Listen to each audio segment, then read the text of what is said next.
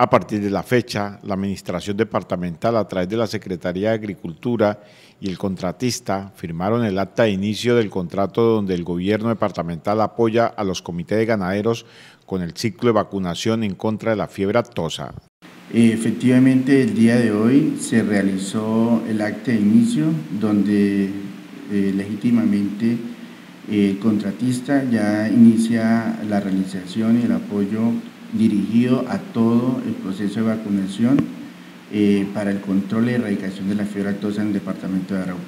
El secretario de Agricultura Departamental confirmó que uno de los apoyos es con 26 vacunadores. El gobierno departamental eh, por dos meses eh, apoya con personal 26 vacunadores que van a realizar el ejercicio de ir en todo el departamento en la zona rural vacunando bovinos. Entonces, eh, eh, aparte de los 26 vacunadores, existen 7 programadores y 3 coordinadores que estarán apoyando cada una de las actividades relacionadas con la vacunación y erradicación de la fiebre aftosa en el departamento de Arauca.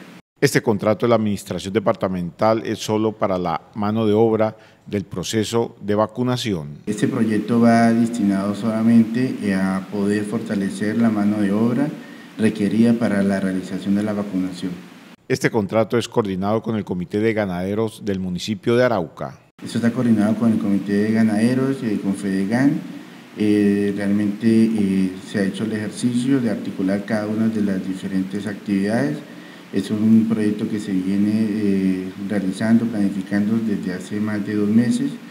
Entonces eh, estamos ahí atentos y en la disposición de poder seguir apoyando ese sector importante del departamento de Arauca. El Ministerio de Agricultura emitió unos protocolos de bioseguridad por el COVID-19 para las personas que realizarán la vacunación.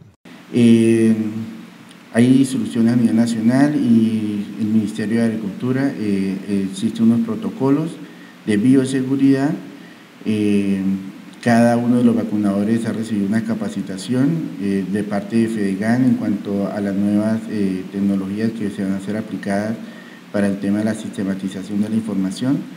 Igualmente, el tema del COVID van a estar eh, con todos sus, protocolos de bioseguridad.